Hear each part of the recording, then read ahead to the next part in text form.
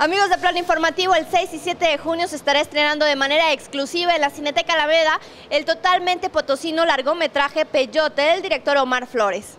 La historia está ubicada en San Luis Potosí y el mítico Real de 14, donde Pablo, un niño fresa, y Marco, un chacal, se conocen y el mismo día se embarcan en un viaje a Real de 14 para buscar peyote. De camino el auto se les descompone y llegan a Real como pueden, buscando la misteriosa planta. Durante el viaje tienen un descubrimiento de su sexualidad y deciden el destino de sus vidas. Realizado con una cámara fotográfica, Peyote es un proyecto fílmico dirigido por Omar Flores Arabia, quien llevó a cabo el rodaje en cinco fines de semana en locaciones de San Luis Potosí, Cerro de San Pedro y Real de 14. La producción se realizó con un mínimo de recursos económicos, de equipo humano y técnico.